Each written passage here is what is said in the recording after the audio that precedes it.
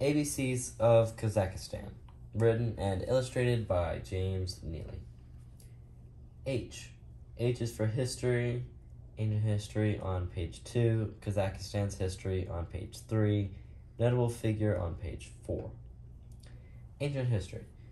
This story begins a long time ago, over 1,000 years ago to be more exact, in ancient times. This was long before you and I were even born. The land that is now Kazakhstan was once ruled by the Saka dynasty. Back then, there was constant fighting and lots of battles, even worse than the kind you have with your siblings. Many years later, in 1218, Genghis Khan and his unstable golden horde of Mongols invaded and took over. The Mongol Empire was not well organized, and once their leader died, it quickly fell apart. After the Mongol Empire fell apart, towns decided to just rule themselves. That is until 1511, when the Kazakhs showed up. They were led by Qasim Khan. Qasim Khan brought bunches of towns together as one, but sadly, once he died, they split up into three groups. The three groups all spoke the same language and came from the same families, but they could but they just could not find a way to share nicely with each other. A wonder of the area at the time was the Silk Road. Sadly, it wasn't actually a road made of soft and beautiful silk, but instead it was a route for bringing silk from China into Europe. K is for Kazakhstan. G is for Genghis Khan. K is also for Qasim Khan. And S is for Silk Road. Kazakhstan's history. Ever since the Kazakhs showed up in the 1500s, the area remained pretty stable. However, in the 1700s, as all empires do, they fell apart. And now that Kazakh government wasn't united, Russia began to take interest in all of the Kazakh land. Another group called the Kalmyks threatened the Kazakhs, and Russia stepped in and offered to help protect the Kazakhs. The Kazakhs accepted Russia's offer and became closer and closer with Russia. Fast forward 100 years, Russia and Great Britain were competing over land and power. In an attempt to beat Great Britain, Russia solidified its control over the Kazakh territory. Fast forward another 100 years to 1916. The Kazakhs rebelled against the Russian government in Kazakhstan. Russia did not like this, so they sent in troops, some troops, and forcefully stopped the rebellion. During the Russian Revolution, Kazakhstan governed itself for two years. Unfortunately for the people of Kazakhstan, the communists won and took over the Kazakh government. In 1936, Kazakhstan became a Soviet Socialist Republic, basically meaning that they were part of the USSR, the new Russia. The USSR controlled Kazakhstan for over 60 years. During that time, the people of Kazakhstan were not treated well or fairly. Although they hadn't been treated well, it was better than it was before the Soviets took control. Later, in 1991, when the USSR fell apart, Kazakhstan became a country and voted as its first president Nursultan Nazarbayev. He put his opponents in prison and was re-elected four times, mostly because the elections were not fair. U is for USSR. N is for Nursultan Nazarbayev. Notable figure. A notable figure from Kazakhstan is Timur Bekmambetov. He was born June 25th, 1961. In 1978, when he was just 17 years old, he traveled to Moscow to learn from the Moscow Energy Institute. He studied there for only two years before deciding that, in, that he wanted to go to the Tashkent Theatrical Art Institute. In 1987, he graduated as an artist of theater and film.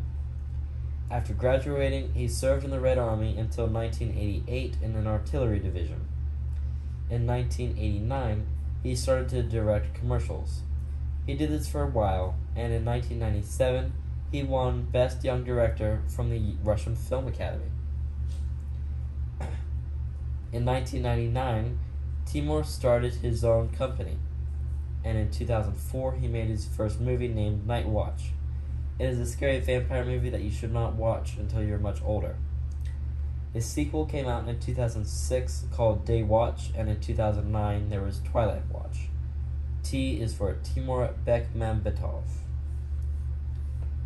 L is for land.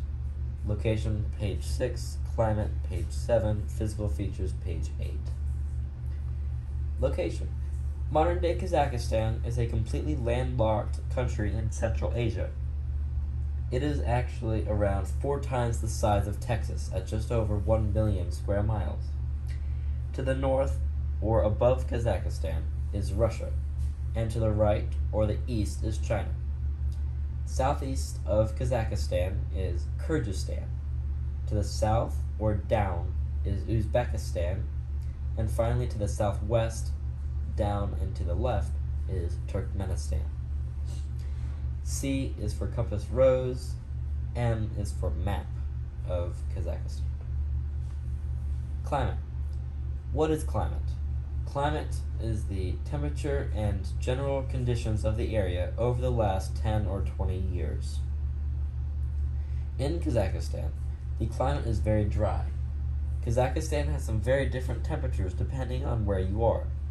In the north of Kazakhstan, the temperatures can get really, really cold as low as negative 58 degrees Fahrenheit. The capital of Kazakhstan, Astana, has the record for coldest temperature recorded in a capital city. Compared to those freezing temperatures, the south is much warmer and more livable. However, in some areas the temperature can get very hot, up to 104 degrees. A is for average weekly temperature. Physical features. The physical landscape in Kazakhstan varies greatly. In the south and east of the country, there are mountain ranges. In the north, there are large forests and hills. In the southwest and west of the country, there are deserts and semi arid regions. In the center of the country, there are vast steppes, large areas of flat grasslands, which are known as the first location that man ever tamed horses.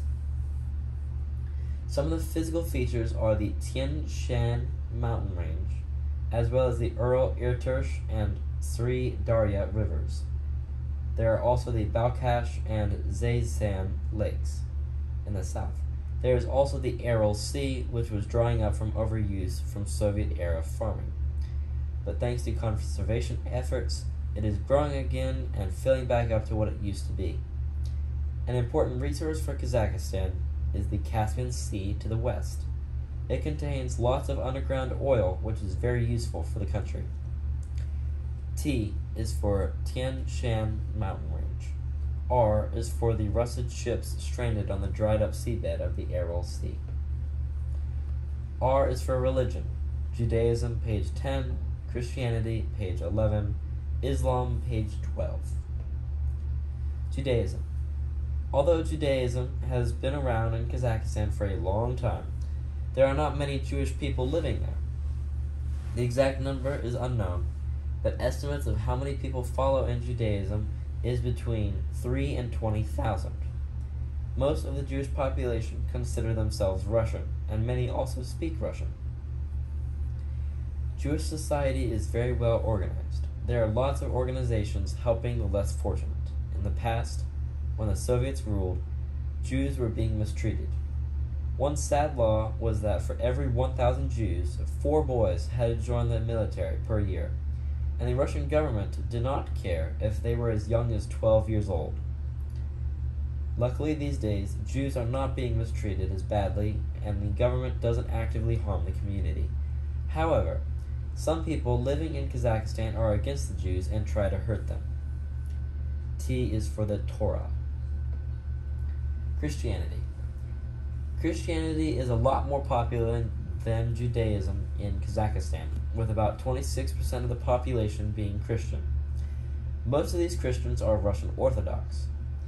Kazakhstan actually has the highest concentration of Christians in all of Central Asia. Christianity was first preached in the area around the 7th century. However, Russian Orthodox wasn't preached until the 17th century.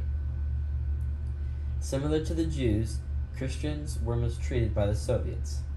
The Soviet government was atheist, meaning that they did not believe in God or any religion. The Soviets would take church property, they would take control of schools, and they would kill missionaries and priests. Once the Soviet Union collapsed, Christians stopped being mistreated and their life improved, similar to the Jews. However, in the last few years, it was made illegal to pray at work or in school, which is a step in the wrong direction. B is for the Bible. Islam. Islam was the first major religion from the Middle East to arrive in Kazakhstan and has been in practice for over a thousand years. Islam has left a major mark on the culture and lifestyle of the region. Around 65% of the population is Muslim, with most of them being Sunni. The first codes of law, or the first rules in Kazakhstan, were written almost as a copy of the Islamic Sharia law. The alphabet in Kazakhstan was based on Arabic until 1912. Just like Christians and Jews, Muslims were treated badly by the Soviet Union. If a Muslim was caught praying in public, they would be put in jail. I guess it is safe to say that the Soviet leaders were not good people. Q is for the Quran. C. C is for culture. Population changes, page 14. Language and literature, page 15. Arts, page 16. Population changes. Currently in Kazakhstan, there are around 19.5 million people.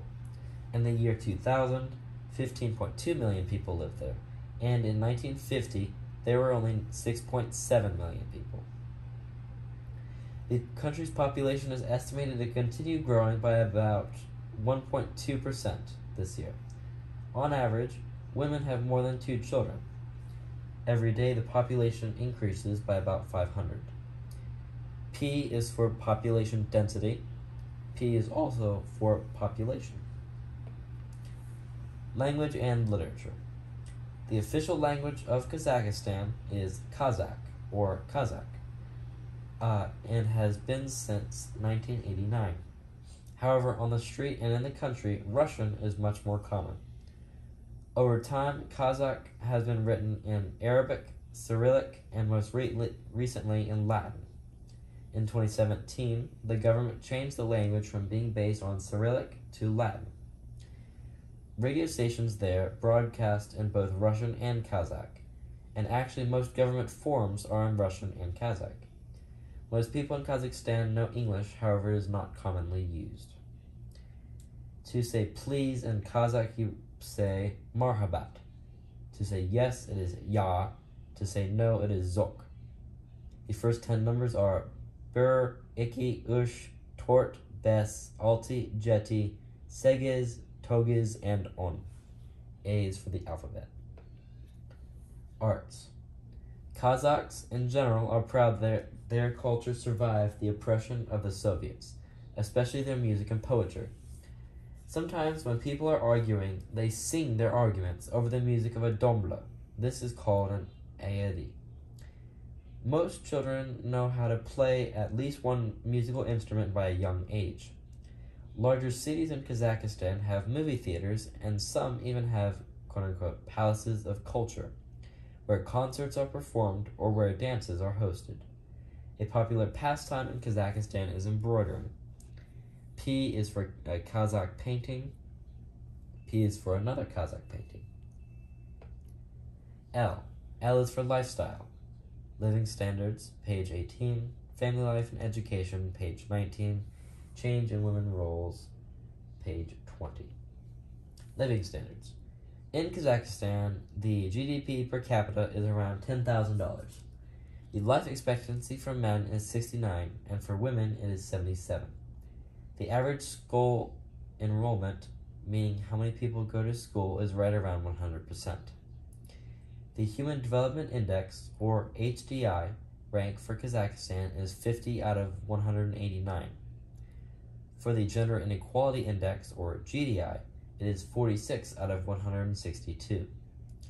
The HDI and GDI are systems that rate a country based on how developed they are and if women are equal with men. Everyone in the country can read and write. The standards of living vary greatly depending on which oblast or state you live in. The country is trying to lower the inequality in the country. More than half of the population live in urban centers. L is for living standards. Family life and education. The family life in Kazakhstan is pretty similar to life in the US, with the father being the primary moneymaker. On average, there are two kids per family, and the mother normally stays home and looks after the kids and the house. Women are allowed to work, and some do. Much importance is placed on family and extended family, with many households being over three generations. For education, most kids attend the local school and the closest university. However, some do travel abroad for college. School is free for kids between the ages of 5 and 17, and it is six days a week. In most schools, all the different classes are in the same building. After ninth grade, school is no longer mandatory. The average length of schooling is about 12 years. F is for family, U is for Nazarbayev University. Change in women's roles. In the early days of Kazakhstan, women took care of the children, family, and the home, while the men would protect the house and also work. Once the Soviets took over in the 1930s and 40s, women were actually encouraged to go and work in the factories, in addition to their traditional responsibilities. The Soviet environment was very different than their previous world, and it took many people a long time to adjust.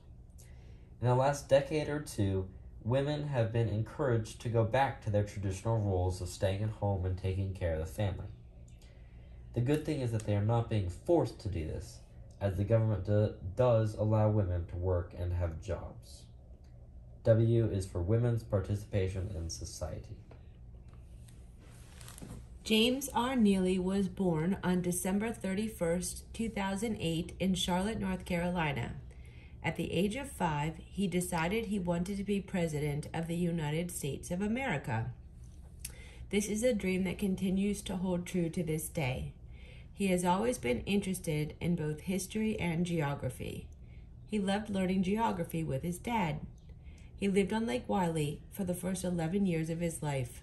So, being on a peninsula, he was taught how to swim as a baby, just in case he ever fell into the water. He took lessons for a while, and when he was seven, he joined the River Hill Sharks summer swim team. He got a taste for winning and pursued competitive swimming.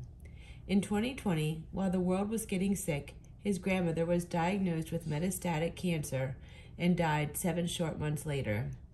This was heartbreaking to him. Around a month after her death, his family moved to a neighborhood and fell in love with their new home. Recently, he has taken up water polo and pickleball, which are both really fun. In the summer of 2022, he volunteered to be an assistant coach for his neighborhood swim team, the Bridgemill Bluefins.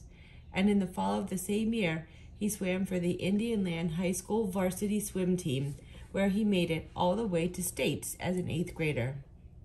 As he is writing this children's book, he really hopes that he gets a good grade. C is for citations.